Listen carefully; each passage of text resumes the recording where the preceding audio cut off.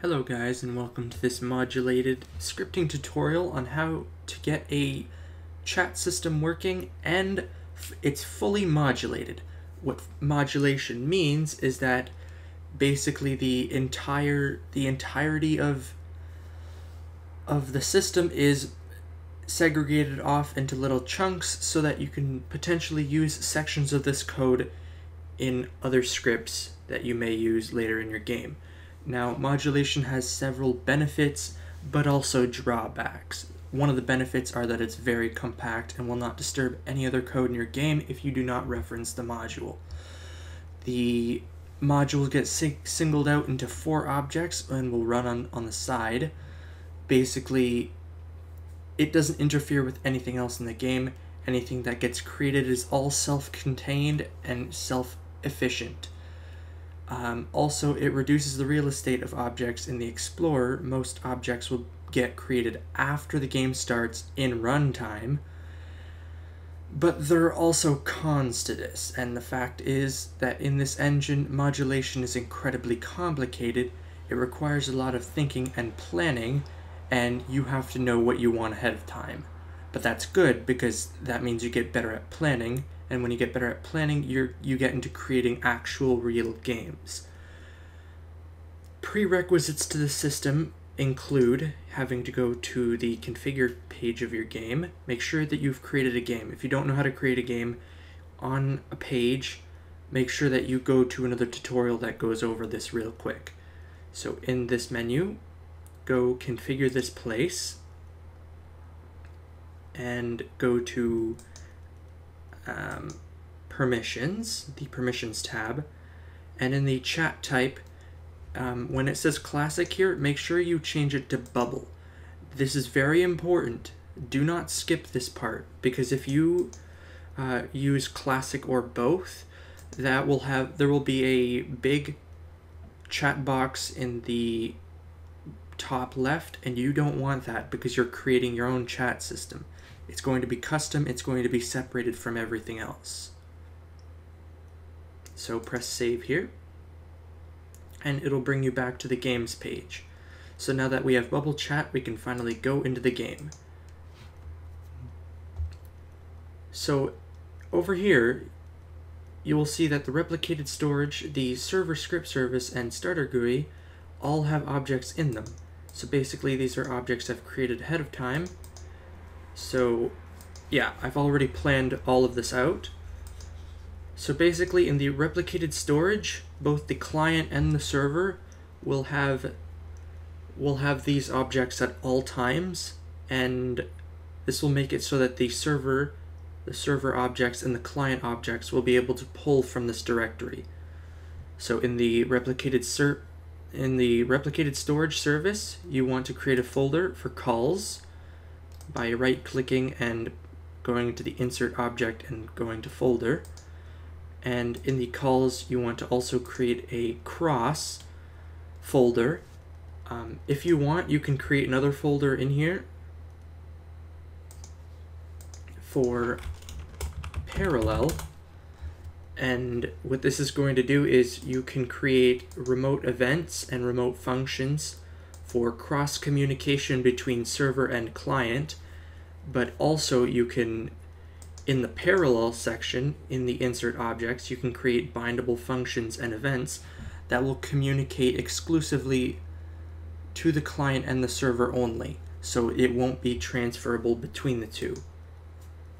So basically all you need is the cross folder with the chat remote event in it basically the reason why I use a remote event over a remote function is because the remote event uh, you can pull strings to and from the server you can pull arguments to and from the server without having to wait for a response. So in the server script service, the chat handler is a script that is basically going to handle the input and output from the chat function.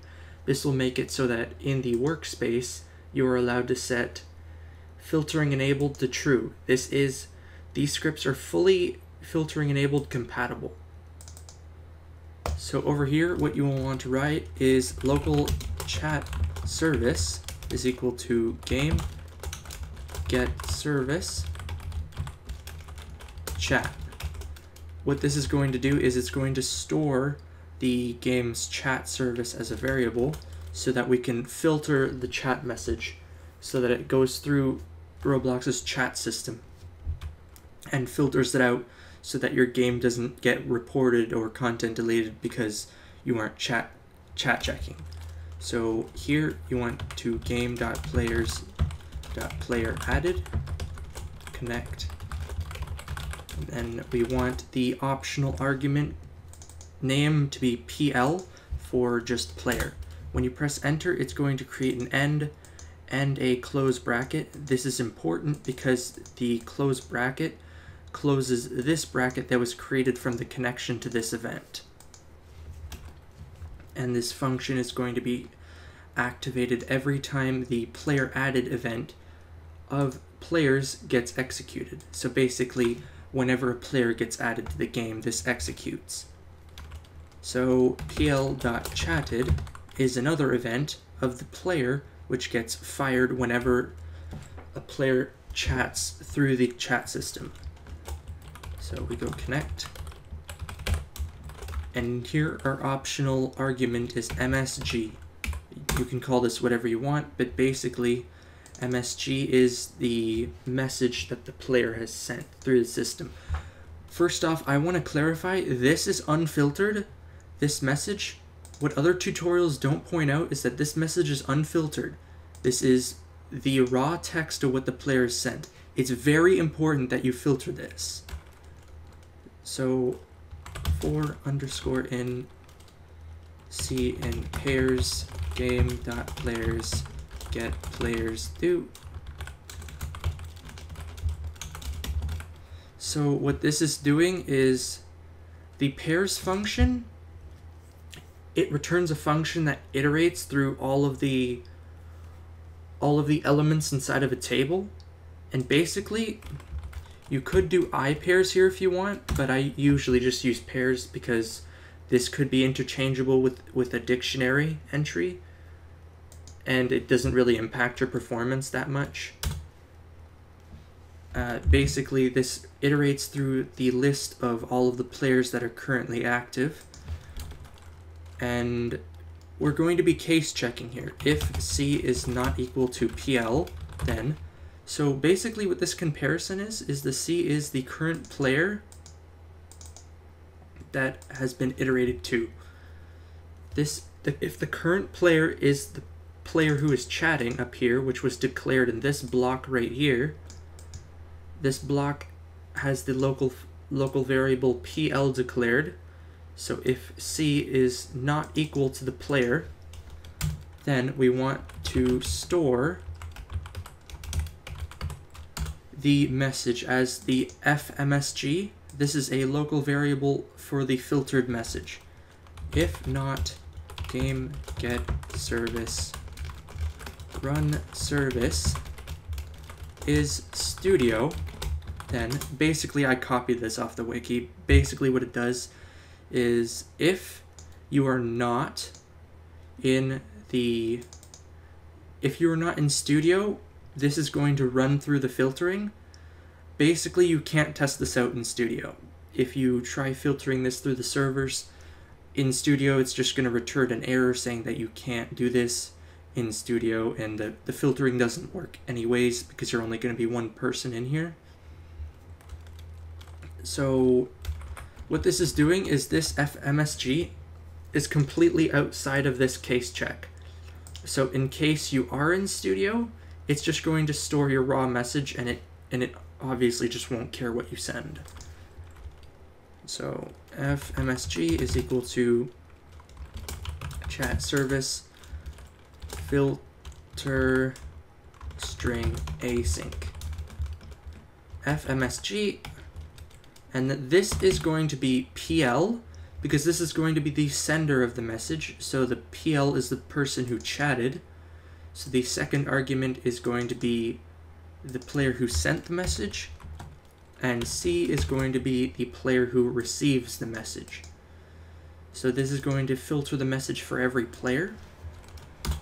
What we want to do here is game.replicated storage.calls.cross dot chat. Nope, chat. And we're going to be firing to the client. Uh, which client are we firing to? We're firing to the C, the player who received the message. And basically what we want to specify here is the player's name. And we also want to be giving the filtered message to the client so that the client can receive the message and process it on its own terms. So we go else right here and game.replicated storage.calls.cross.chat and then fire client and what we're doing here is cpl.name and what we want to do here is if it is the player receiving their own message we want to make sure that the player sees their their message no matter what so this is how the basic normal chat system works you're going to see your message no matter what but your but the message is going to be filtered for every other player in the server so that when they see your message, potentially they're going to see something different. It's just how the chat system works. Don't worry too much about it. And we're going to be moving on to the basic chat script here. So basically, most of the work is going to be done inside of this module, but for, for now, we're just going to be focusing on like getting the functional portion done, and then we're going to go through all of the nitty gritty and getting the elements created and all of that all of that fancy stuff. So this is going to uh, require I'm already getting ahead of myself with that colon. So this is going to require the module of GUIs here so that we can use all of its constructors and stuff like that from within the script. So what we want to do here is we want to create a new local block so that this block is the only block that can change this in case we want to like update the script later to have more functionality to it. So cur y is equal to zero, local max y is equal to script dot parent dot chat window dot canvas size dot y dot offset. So what this is going to do is, I probably should explain it re real quick. So basically I've created this frame right here. By the way, I'm not going to be going through all of the properties that I've changed. I'll be here all day. If you want to see it, there's this place is going to be uncopy locked by the time this place is up. Uh, feel free to just copy this frame if you want to. You can change the position if you want, the size, how whatever you want. This dynamically updates to whatever the size of this frame is. Um, basically, this stores the the size of the canvas that we're working with so that like you can scroll through all the chat messages. So function new chat chat and then format. So what this is going to do is it's going to create a new chat element um, given this string, but the format is going to be, uh, what was it again? It's going to be the default, the default formatting settings for the text if there is no formatting applied to it. This is going to be a later later portion, but basically if you want to make a custom chat script, it's always a good idea to give give people the option to like color their text or whatever. Uh, this is slightly less secure, but is is just good for learning and an example. So local formatting is equal to GUI get formatted text chat and then format. So this is just going to pull this to the to the module scripts constructor and it's going to return the formatted frame. So the formatted frame color 3 is equal to brick color dot new cyan dot color. So basically, whenever you create a brick color, um, whenever you create a new brick color, there is a color property inside of it, that's a capital C there by the way, that returns a color 3 value of that so that you can actually assign that to like interface elements and stuff. I'm going to be using this quite a few times throughout the module and it's very useful if you just don't want to like calculate your own numbers and stuff like that. So formatting dot background transparency is equal to 0.6. This is just a number I've came up with. 0.6 seems to be a good number. And formatting dot name is equal to chat. This is very important. We need to make sure that the, the name stays as chat right here. So this is going to be a frame containing all of the colored labels that we need to display to the player. So y is equal to instance dot new int value formatting. Okay, so what this is going to do right here is it's going to create a new integer value. It's going to automatically parent it to this frame.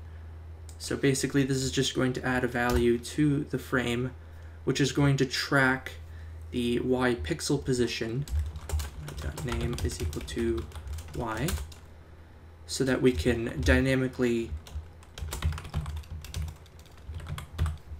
so that we can dynamically like update the position as we create new chats.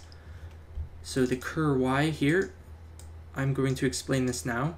The cur y is basically the pixel position we are currently at. And whenever we update and create a new chat here, this is going to increase the cur y by a certain number.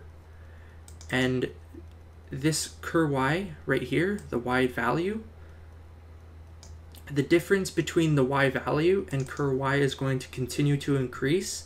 And we're just going to keep moving the, the formatting frame up and up and up until it gets to a certain position and we're just going to start deleting the frames. So cur y, no, no, no, not yet. So we want formatting dot parent to be script dot parent dot chat window. So this is going to parent it to the scrolling frame right here so that we can scroll through the chat. And when it goes into the chat window,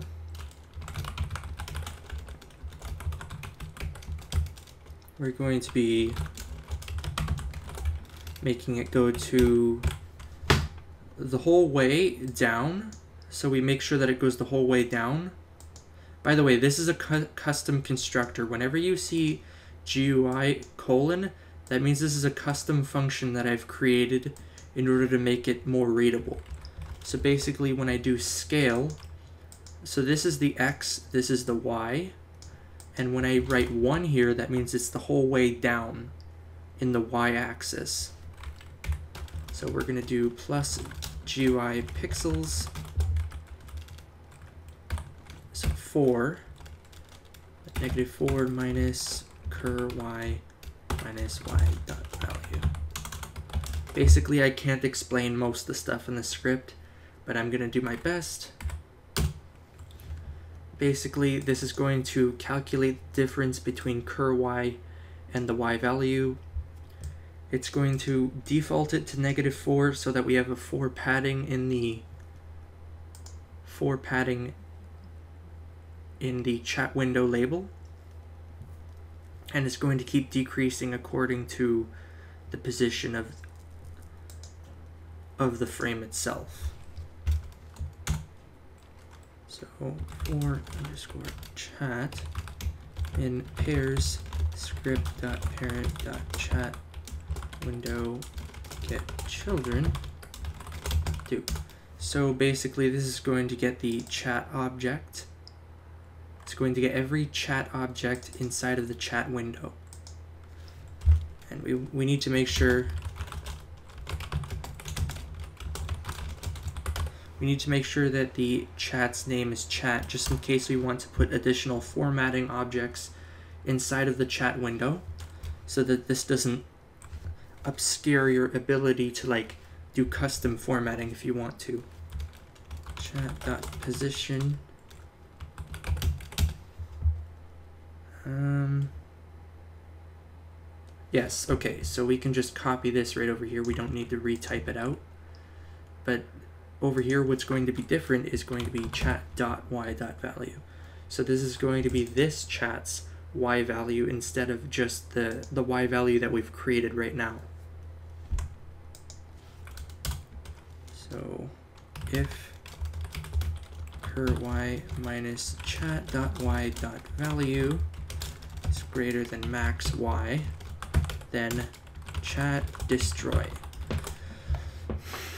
All right, so what, basically what this is doing right here is if the cur y, which is the the current y position we are at, where, where we are dynamically updating all of these chat windows, um, if the chat's y value, the difference from between it and the current y is greater than the max y, which we've set to the the canvas size height of the chat window. So we, we need to make sure that we're deleting these these elements as we create them as well, so that there's not too many elements and the player doesn't lag. So the chat is going to, to get destroyed. So we're going to be calling the destroy function on the chat object. There's no problem in doing this. And basically at the end, after the loop is done, after the loop block over here, we want to create one more statement here. Script parent chat window can canvas position is vector 2.new max y minus script dot parent dot chat window dot absolute window size dot y. Now this is basically a very long, complicated line, meaning um, the canvas position, we want to make sure that the canvas position at all times is fixated to the last, to the newest chat chat element that we create. So whenever a new player chats, it scrolls to the bottom and shows the player the new chat. We could create an entire new system just to notify a user that a new chat has been created instead of scrolling them all the way to the bottom. But honestly, this is just simpler to read and doesn't require as much work. So here game.replicated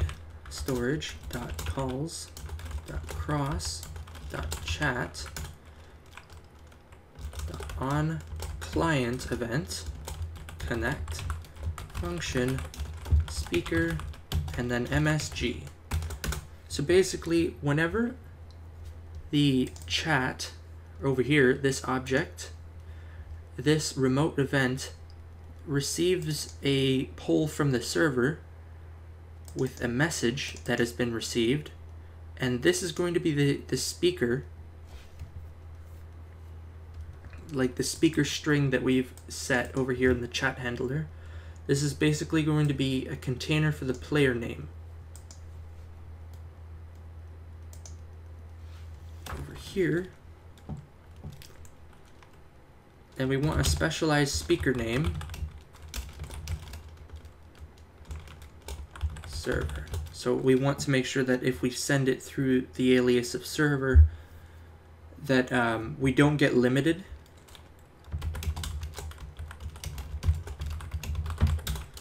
And we're going to manually limit this message so that it doesn't take too much data.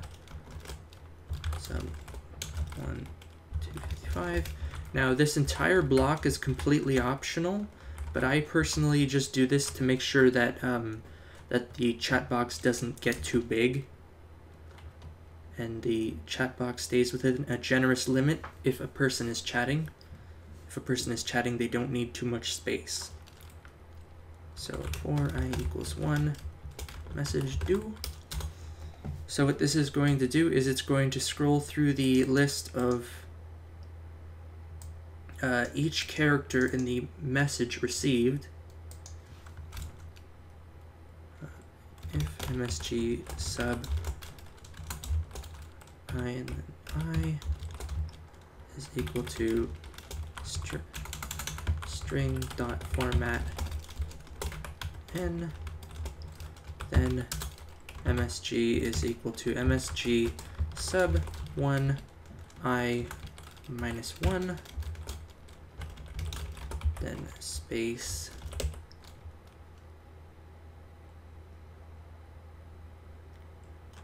then msg sub i plus 1. So if you're confused as to what any of this does, basically, message sub ii is the the character at the position i and i, which is the current number, between 1 and the amount of characters. So this gets that character inside of the message. And string.format backslash n is a line break. It's basically if people paste like small lines of code like this into the chat, it's going to register all of the line breaks and it's going to basically just mess up all the formatting for the script. So we want this right here to make sure that we're replacing, we're proactively replacing any line breaks so so they get registered as spaces instead. So let's see here. If speaker is equal to server, then that's basic case checking. You should know what that means. New chat, MSG, and basically this is where we want to set our default formatting for the chat message. Now, I'm not going to get into this right now because I'm going to explain it later and I'm going to come back to this. But basically, I'm just going to copy the default settings from here. Right here, this is going to be the default settings. So the padding is going to be 3 pixels, the default is going to be bold, and the color cyan, we're going to have the line break which is basically the max pixel length of a line to be the chat window's absolute window size X. So this makes it so that you can change the size of the frame if you want. So else new chat. Over here we want to create a new bold shadow shadowed orange message this is just basically for style at this point. And then over here, we're going to use square brackets, speaker. We're going to close the square brackets.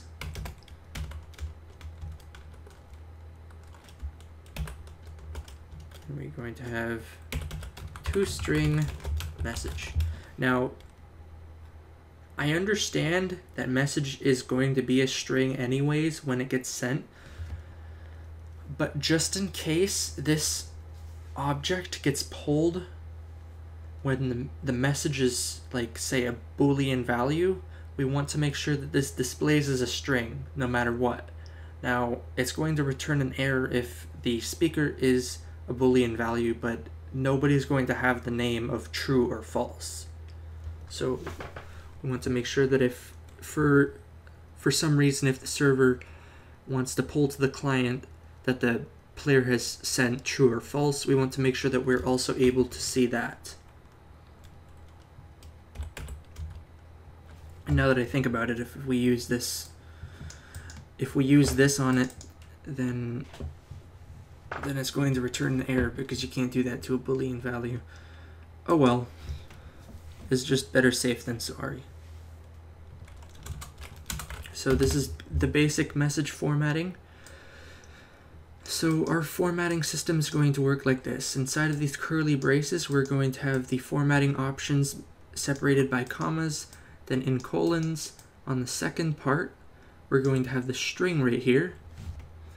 So this is going to be how it's displayed. The rest of it's going to be hidden. This string is going to be formatted uh, dependent on the settings right here. And this is going to convert the message to a string.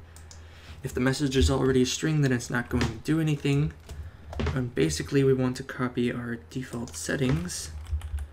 Mm, but instead, this time we're not going to be including the cyan color because this is not going to be the server message default. We're just going to make the default formatting bold so that the bold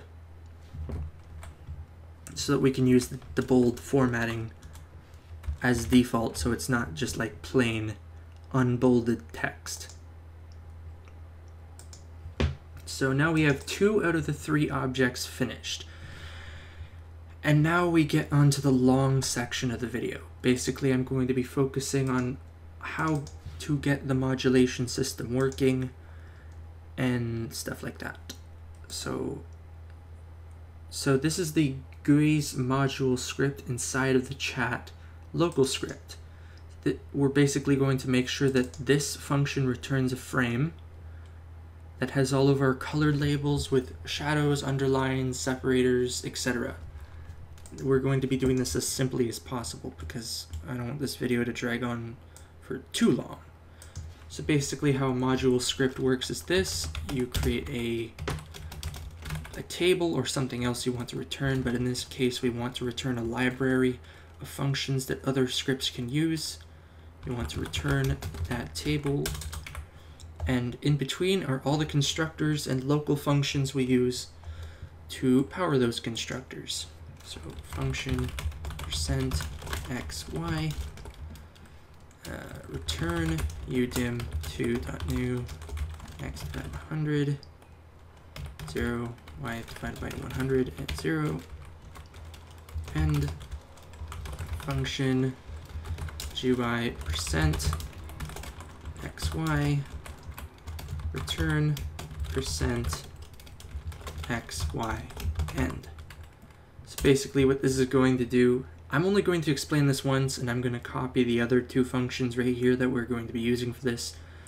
But percent xy makes it so that if we the, uh, UDIM2 is a basic like universal dimension 2 which is basically the x scale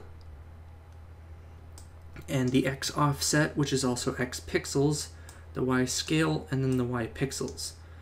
What I want to do is I want to segregate this in the in the parented script so that we display it as as a human readable percentage and stuff like that. And the universal dimension 2, I found out a little while ago you can you can apply math to it. So returning returning it you can also like apply math to it what with the with the dimension that has been returned. So I'm going to do the same for scale, which is basically just percent, but without from 0 to 100, it's from 0 to 1 instead. So pixels, pretty self-explanatory, creates you an offset dependent on the x and y, and I'm not going to skip this part because this part's important. Um, when you create a new function for a colon here, this basically means full stop. This is a function inside of this table that you can call. You can't create new functions inside of this. This is a function on its own, and that's just it. You can also do GUI dot percent is equal to function and stuff like that. You can also do that, but usually you want to use these just to signify that it's a call. And yeah, and it'll just pull it through the percent function, and this will pull it through the scale function that we've created. It's going to re return a dimension and all that stuff. Some parts of the script is using a alias background color 3. So we just want to make this a little bit shorter for us so that it, it takes a little bit less trouble to get all of this working. So over here, do function color RGB. Then this returns color3 dot from RGB. It's just, it's a little difficult to type this out, so I frequently use this instead of the actual one. Color, and then blah blah blah. Basically, color, blah blah blah. And so what this is going to do is it's going to just completely ignore the fact that, that there were any arguments passed through. It's just going to completely just redirect the call to color, giving all of the original arguments that it's received. No exceptions. Just to make it easy. Function GUI eGUI return game.players.local player wait for child player GUI. And so what this function is going to do is it's going to return the player, the player's player GUI, and it's going to wait for it if it doesn't exist. And I'm just going to paste in a couple of library functions I've used in several other scripts. So here this is the color translator API, basically what I used to get like green and yellow. You can read through this very slowly in the uncopy lock place, but basically this colors is a dictionary table containing all of the possible color combinations that we've created. Um, it converts the input string from the from the function to lowercase so that you can like type capital C camo. You can type lowercase camo. You can have it a whole bunch of jumble as long as it's camo and it'll return the brick color camo. It just makes it easier. So uh, you, I've also made it so that you can input a number into this function and it'll return the number brick color. It's not really important here but basically, if you know how to use brick color numbers, then that's also an option for you. Here is the second and last library function. It's what most scripts use. This is the explosion function. What basically it does is it takes a string like one, two, three, four, five. It takes that and converts it to a table of one, uh, two, three, four, and then five. And then it returns this table. And basically this function does all of the hard work for you so that like you can use this in other scripts if you want. It's great for admin commands and stuff like that. So next we want to create a couple constructors. We want one to exist for the interface frame, but we also want one for the, the text label. So what the frame is going to do, new frame, um, we're just going to create our own default settings because whenever you insert a frame, it's going to have like a default pixel size of 100 by 100 pixels. We really don't want that. So f recolor is equal to color 255, 255, 255. Basically 255, 255, 255 is white. You could also just do brick color.new white if you wanted to, but this is just slightly shorter. Um, and, oh, right, and recolor over here is the aliased background color 3. So we're going to be recoloring the frame to white. Pretty simple. size. This doesn't work for a text label, by the way. This only changes the color of the background, and, and a frame is only a background. Size is equal to pixels zero, zero. Oh, whoops. This is going to change the size of the frame to 0 pixels by 0 pixels high, making it highly customizable if you want to use math on it. Dot border size pixel is equal to 0. And I'm not going to bore you with the details, I'm just going to go straight into the text label right here.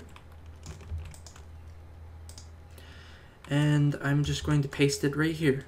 So what this is going to do is it's going to create a new text label that is defaulted to our normal size for the frame, which we want it to be 0 by 0 pixels.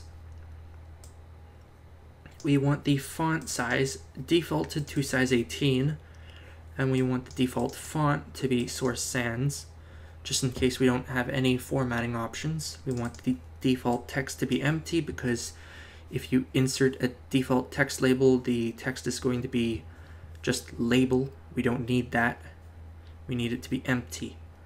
Also, we want the text color to be white by default because we like that color more more than the default black that it was. We basically set the border size to zero pixels just in case we want to actually use the square. That's the same thing for here, but basically here we want to return f as well. Great. So what this return statement is doing, um, I haven't really explained it very well, but over here, whenever you write a function block, a function block um, if you include return at any point, it stops the function where you use the return and it gives the variable the variable right here to whatever what whatever um whatever environment called it. And it's going to return whatever variable you put in so it makes it very useful for creating library functions like this. So going to create, so these are the default settings for the frame and text label. Let me just scroll through the other stuff because this is quite a long script. I'm going to be writing basically one and pasting the rest. So the first, the first function we should probably write is format label. So what this is going to do is it's going to run through all of the formatting options and it's going to change the text that we specifically marked to be formatted to format it. So this is going to be the text label. It's going to be the color, I think. Was it the color? yeah, I think. Let me just get this real quick. I need to explain this. Oh, yes, yes, yes. So basically, if we have like red and then hello, and then blue world, we want it to be like a red hello and then a blue world.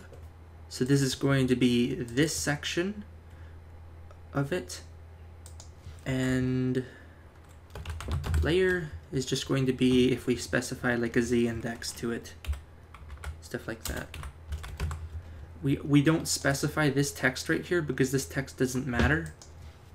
The format label is going to be specifically for this only. So we want to instantiate a whole bunch of variables so that no other part of the script can can read this. This is all going to be localized within this function. So shadow, bold, separator, italicize, underline, and light. These are going to be all of the formatting options that we allow other than color, but that's going to be set manually. So local formats is equal to explode color. And then we're going to be separating all of the formatting options by a comma. So we can do uh, shadow. So we can apply a shadow and a red to the word hello so that the word hello is going to also have a shadow when we create it. So this makes it like convenient for scripts like this.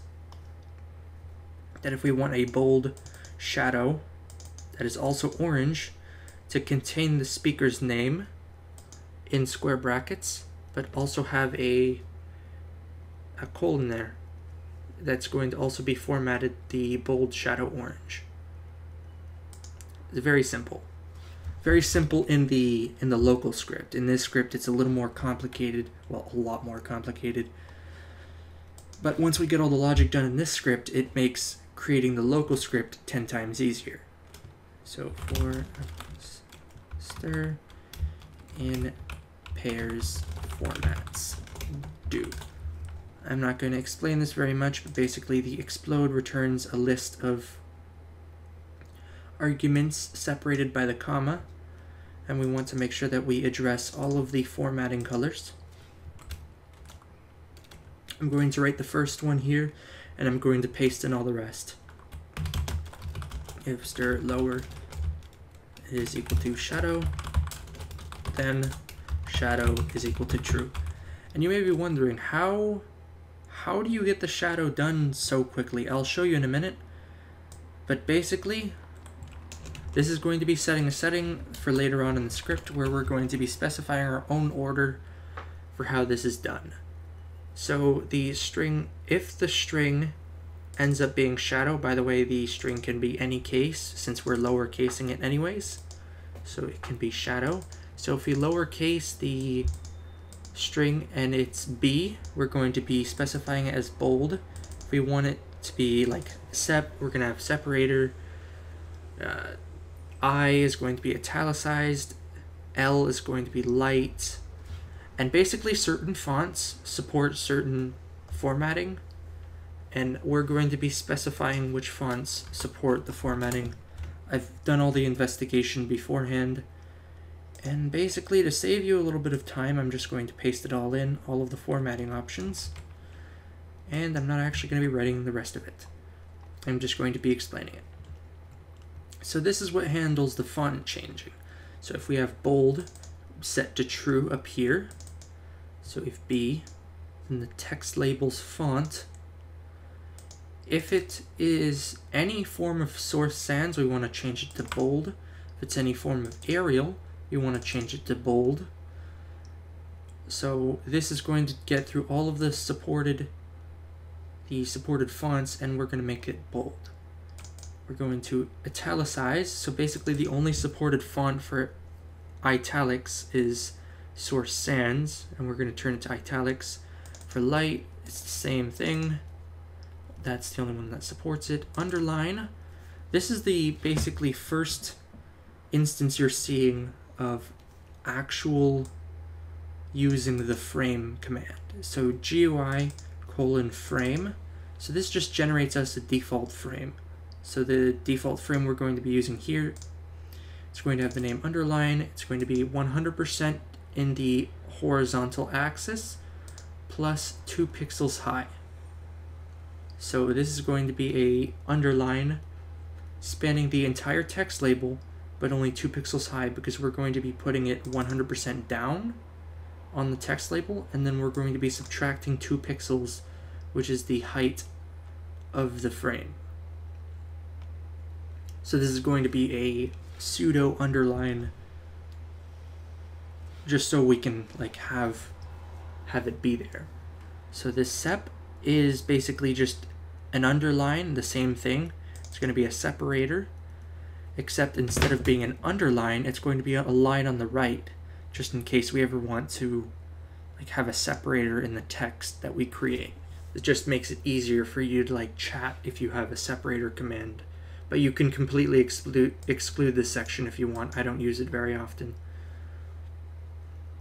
So last but not least, we want to handle the shadows. So after all of the text has been formatted, the font has been decided and all that, if we have a shadow here. We want the text label to clone.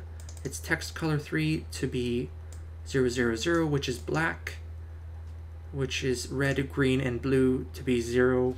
Combined, all three is equal to black. We want the name to be shadow, the position to be 2 pixels in each direction. Yes, so this is going to be two pixels offset from the actual text label, so it appears like a kind of shadow. It looks really cool on the text. So the text label size is going to be 100% of the text label because it's going to be put inside of the text label. And if a frame gets put in a frame that's just 100% in each direction, it's going to be the same size as the frame. Basic stuff. So this gets set to the same size as the text label, gets put in the text label, and gets offset by 2 pixels. It's black, it's slightly transparent, um, and the text label gets set to one layer above the shadow just to make sure that uh, the, the, the shadow is underneath the text. And that is the entire formatting function. We have we only have one function to go, but conveniently this is the most complicated. So function GUI get formatted text. So this is going to be the main function. This is going to be the function that returns all of the formatted uh, this is going to be the, the frame that returns all of the formatted text labels. It's going to get all of the complicated settings and then just format it into a pretty little uh, like agglomeration of text different colored text so that it looks pretty basically no other way to explain it so we want to make sure that so what basically this is doing is the, the second argument is settings and if the player does not provide any settings, then it's just going to be an empty table because there needs to be a table there. So we're going to be instantiating variables again. Basically what we did over here, like the true and false is here, except we're creating new variables with their own defaults. So padding, line max, uh, default format, and layer. So what these four are going to be here for is the padding is going to be how many pixels the text labels offset from the frame. So like in each direction, how, how big the frame is away from the text. So like you can change all these settings. This dynamically changes the chat system and nothing breaks outside of this script. So what we want the default padding to be, uh, settings.padding or zero. So this is going to get the padding setting and return it. And if it doesn't exist, we'll just get zero. Zero pixels. Settings that line break or 1e5 basically this 1e5 is 1 with 5 zeros and that is 10,000 Oh wait, no, that's 100,000. We want it to be 4, because we want 4 zeros. And that'll be 10,000. You can also write just 10,000. It, it's the same thing, but basically this makes it shorter. Um, settings.default and settings.layer or 1. So what basically this is doing is setting padding to this, setting line max to the line break that we provide, the default formatting to the settings default formatting string.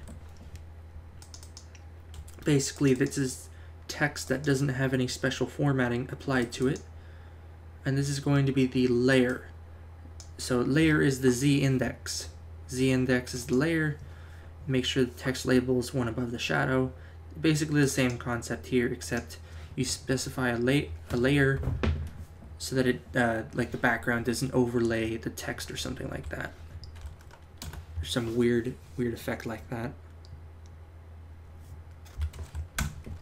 So f is equal to frame. Basic stuff, you know how that works. f dot name, we're going to be calling it text container. And we have the double underscores here to mark that it is an automatically generated object, just so it's a little bit easier to see in testing mode should you come across this frame again. You don't need this here, I just put it here to look better. So f dot z index is equal to layer. So this is going to be the layer. TL is going to be text label. I, am just assuming you know what most this means by now. So that, that sets the name text container. Z index is the layer. This is going to be the automatically generated frame that we put in the chat window. TL.background transparency. One, to be fair, I could have aliased that, but at this point I don't really mind. Oh, right. I probably should explain. Um, over here where I write GUI colon pixels, in this script, in this module script, you could choose to include or exclude the GUI portion. You can write it with or without. It's completely up to you because it's inside of the script. But outside of the script where you require it, like in this chat right here, where the GUI is only the table, um, these variables that you've declared here, uh, percent, scale, and pixels, they're only going to be seen inside of this script. This chat script will not see these variables. So the colon is it's just it's good practice to use the colon inside of the script. I only excluded them here in the frame because because it just makes the function a little bit shorter and it's not that long of a function anyway, so I just excluded it. So so tl.name is text, that's just going to be the default settings for the text label. So as we clone it, tl.z index is layer plus one. So basically the frame is going to be set to the layer. The text label is going to be set to the layer plus one. By the way, um, in case you didn't know, the layer limit is 10. So we need to make sure that the layer does not exceed like 7 or 8 when we're getting the formatted text. So the z index is that.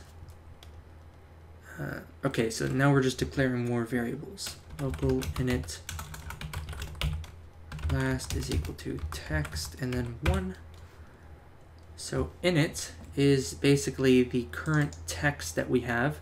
We're going to be manipulating this variable instead of the text we're just going to be changing init instead. The last is, uh, we'll get to that. I don't want to make this overcomplicated right now. I'll explain it when we get to it. Pose is equal to padding or zero. Local top pose is equal to padding or zero.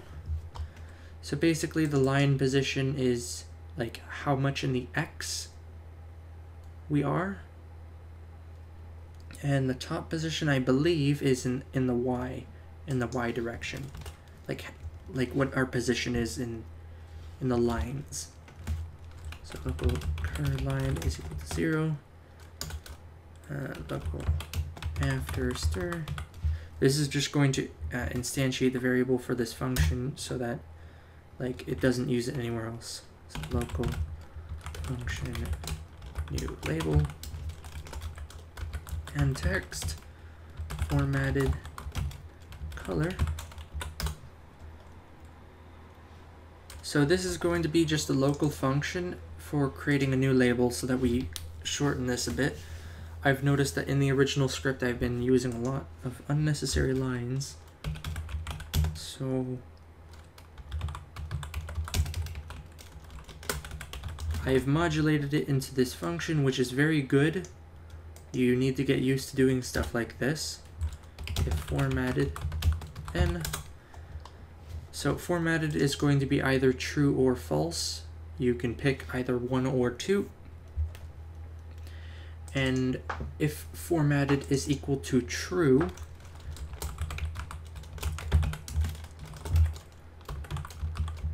going to be formatting according to new text color and then giving it the layer.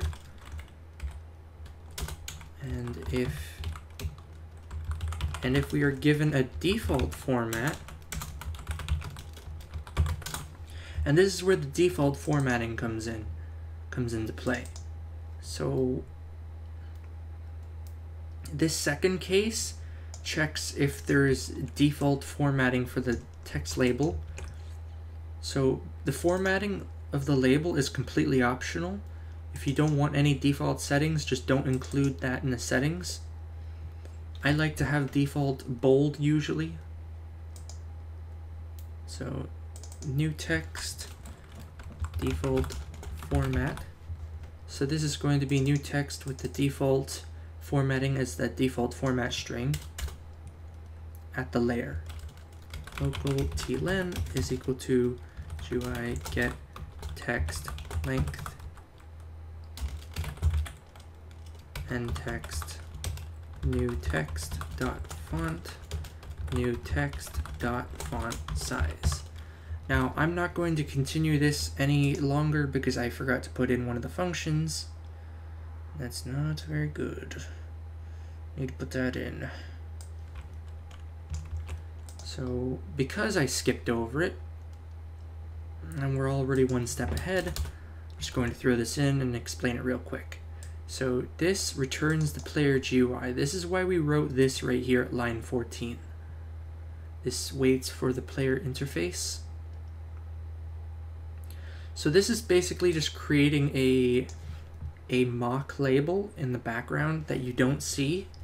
And this is just going to be setting the text and stuff like that. It's just going to be scrubbing, scrubbing the text onto the screen in the background so that we can get like text length so we can separate all of the color labels and stuff like that. Uh, I'm going way too specific. I hope you guys are following. If you guys have any questions, leave them in the comments. I will try my best to answer them. So local, what else do we have here? Where were we actually? there we are we don't write that actually.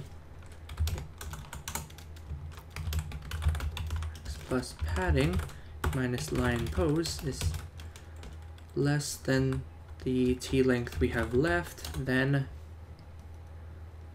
so this is basically the maximum amount of pixels that we've set and the padding is just extra pixels, the dead space that we've allowed and this is minus the line position, which is basically our cursor position in the X.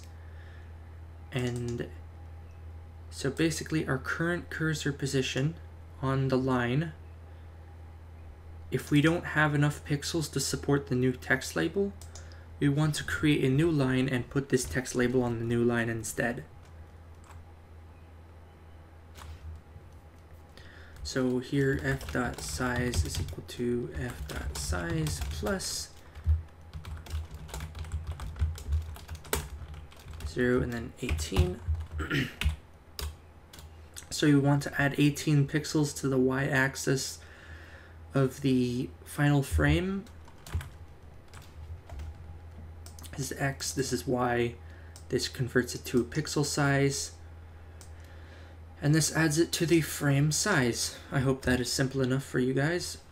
So f dot size is f dot size plus pixels 18. So line pose is equal to padding or 0.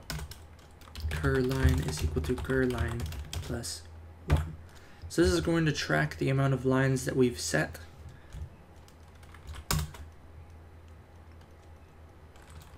New text that size is equal to GUI pixels tlen 18.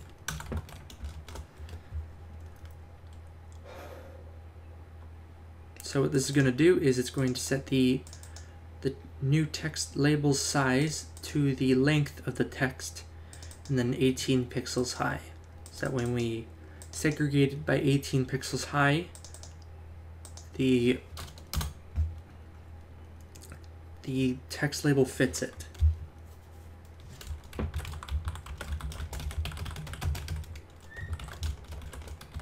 This is going to create a new pixel size and it's going to be setting as the position.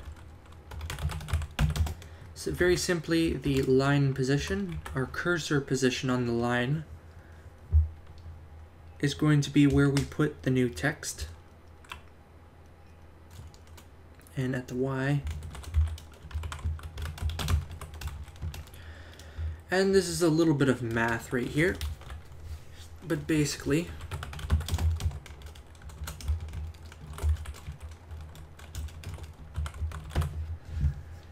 um, this is going to be the padding variable. So we've set a padding variable up here for dead space. So we're going to be adding that to the current line. Wait, did I add padding to the X? Doesn't matter. I think it gets set later. Right, right. Okay, so cur line 18 plus padding. Right, yes. Okay, so that the current line gets multiplied. So like if we're on line 1, then it then it multiplies 18 by 1, so we've got 18 plus the padding, which is 20, which would make add up to 20 if we had two padding, etc. and stuff like that. You text that position.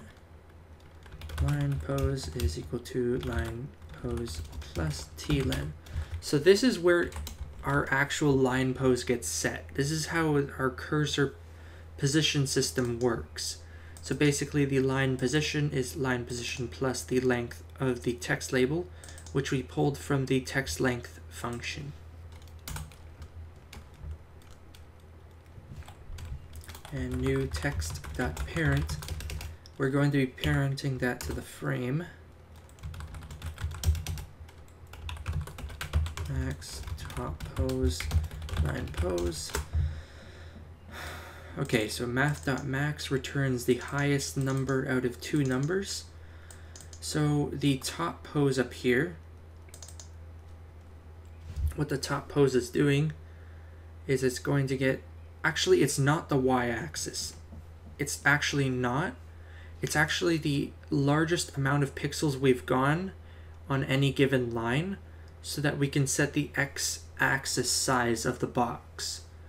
So this can be regardless of the label we're setting. This just uh, gives gives it to the top position to make sure that we have the maximal size. So after all of that complicated math is done, we're going to be returning the new text label and this entire new label function block is done.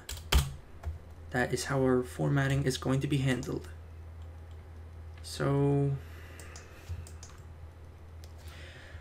this is the last complicated section of the script and it's not even that complicated. So for, before, C start, C stop, start, stop, after, in txt gmatch and this whole bunch of text grabbing gobbledygook. And I'm going to run through what all of this does real quick. I'm really not going to spend too much time on it. Basically, these two brackets we put right here captures the current position and returns it to a variable. So the first capture right here is going to be the before variable. The second capture here is going to be after the C start. So this is the color start, the color stop. This is going to capture the smallest string possible before the first colon is specified inside of the curly braces.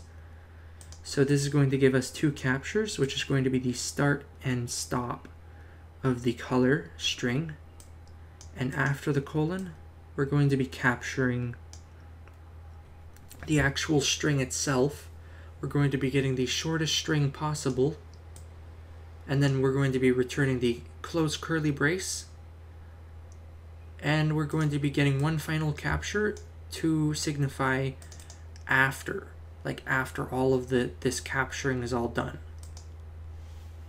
you don't need to know what all of this does, but basically this runs through a loop for every time this possible match has occurred. So every time this specific pattern is detected inside of the string. So what we want to do is we want to get the color from the text. So we're going to be getting the substring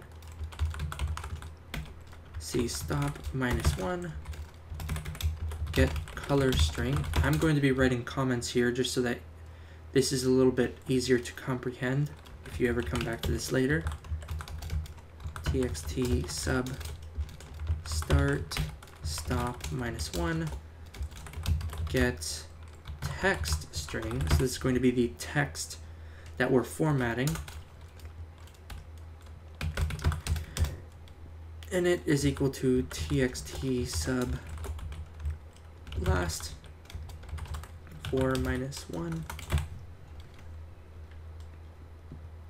And you may be wondering, like, why am I doing minus 1 here? And the reason I'm doing minus 1 here is because this capture right here at the end, it like, it returns at the character, at the character in front of the capture. So you want to make sure that at the capture we return like at the start of this string and at like the end over here that is captured over here minus one character. So this is everything that's inside here. That's basically what it does and at the end capture here as well.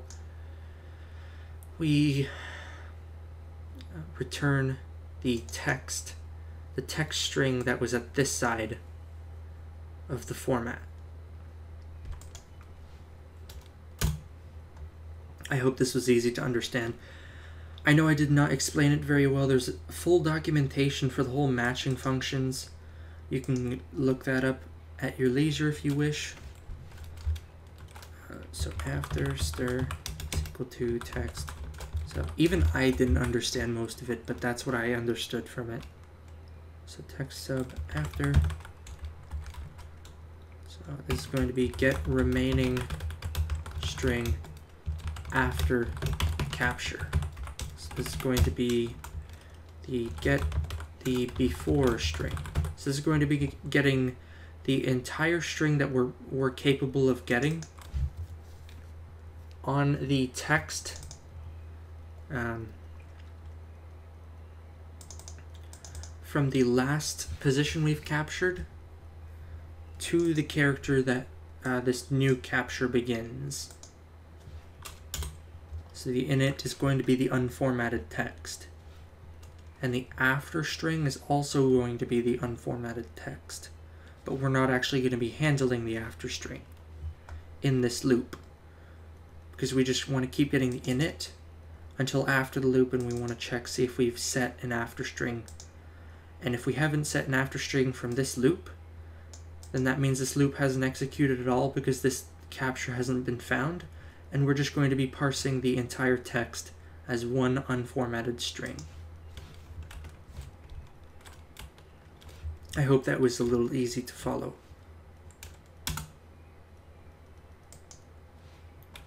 So L last is equal to after. So basically this is going to be recording the character that was after all of the string content so the after string tracks it. It is not used in this function, in this loop at all. That's why there's no local here. Local makes it so that you can only use a variable in a certain block. And in this for loop block, we only want to be able to use the color and text inside over here. Because um, if you haven't noticed, the color has already been set as a function right here and if we were to use the color anywhere outside of this loop, then um, then it might break the script. And I'm also going to be labeling this. So we're going to be handling the before label. So we want to go new label, init false handle formatted text. So this is going to be what we formatted, label text true and color. So remember in the uh, in the new label function where we had a boolean value of formatted true or false. So basically this is what what's going on. So in the before string in the capture, so before the capture, if there's any text, then it handles a new label and excluding all of the special formatting that we're including here. And the new label here includes all of the formatting so that we can get all of that stuff done. So this basically checks if the after stir variable has been set. We've instantiated it over here, but it doesn't actually have any content. So the after stir is a nil value by default. So if this if this loop executes at all, then after stir is going to be set to whatever is after the last capture. So this is going to be handling the final label. So this is going to create a new label and this is going to be the after string that we've set and this is going to disable the formatting because we have not set any formatting after the last capture. So else handle whole text. And this this script is completely bulletproof. Other than the filtering, which is not completely efficient, you'd have to track all of the strings that you've set and all that stuff. But other than that, this script is impenetrable. It's completely bulletproof and you can't break this online. So text false. Yeah, you can't. And if you've and if you set too many formats in a chat, then it cuts off at a certain point and it just breaks your entire message. So you have a maximum of 255 characters or however many you've set in your chat message. And the server messages have unlimited length so you can create like tutorial pop-ups and stuff like that. Just very useful. So GUI pixels. This is going to be the final function. Top pose plus padding. So what this is doing is this final this final declaration is going to be setting the frame the frame containing all of the text labels and stuff it's going to be setting the size to the longest line that we've created plus the padding in the x direction what we're going to be doing here is we're going to be doing 20 times per line plus 1. And if you're wondering why I've, I've set this to 20 instead of 18, I don't know why, but when I set the size to 18, like the text goes a little bit off and it just goes a little bit wonky. I've done this testing beforehand, so you don't have to worry about it. So you don't have to worry about this breaking. So plus padding, and this is finally going to return the function. No, it's not going to return a function. It's going to be returning the frame that we've set at the start of the script. And and you're done, basically. So once this is done, we can finally test to make sure that it all works. Ah, okay, so I've caught my error. So basically, in this, we want to also, after all of this has been declared, we want to increase, increase the current y value to format dot So the offset is the amount of pixels in that direction. So we want the y pixels of the formatting frame. And we want to add a 2 pixel buffer between all of the chat messages. The plus 2 is only to space it out 2 pixels between each message. So fingers crossed it all works.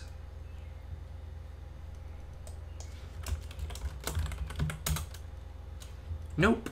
We've encountered another error. Did I not set the text? Did did did I not set the text? Aha, it would probably help to actually set the text. okay, so right off the bat we want to set new text dot text to end text. So this is going to be the actual text that we are formatting. You want to make sure that you are setting the text label. So hopefully it works now. Seems to have worked perfectly fine except for the setting text part. So when we create a new message, it's going to create a shadowed message over here saying hello world. So if we do hello and then we do we do a bold underlined uh, green, we want a green world and then we close it to mark that that is the end of the formatting. So that's a bold underlined green formatted hello world. So it's going to be creating hello world makes world look a little bit like a link, which is actually quite interesting. So if we do hello b u, and this is one of the numbers, 104 world, and then it should create in dark purple 104 is the, uh, I think it's bright purple brick color, and it turns that to a color 3, and it puts it over here in the chat message. So if you do spam, blah, blah, blah, then it goes off the screen and you can scroll over here. Chat message, blah, blah, blah, de blah, one, two, three, and ABC. So now you can see that my chat message is over here that I've set before. Hello world has been cut off because it went off the screen and it's been completely deleted at this point. So if you've enjoyed this tutorial, feel free to give a like, subscribe if you want to, and I will see you guys next time. See you later.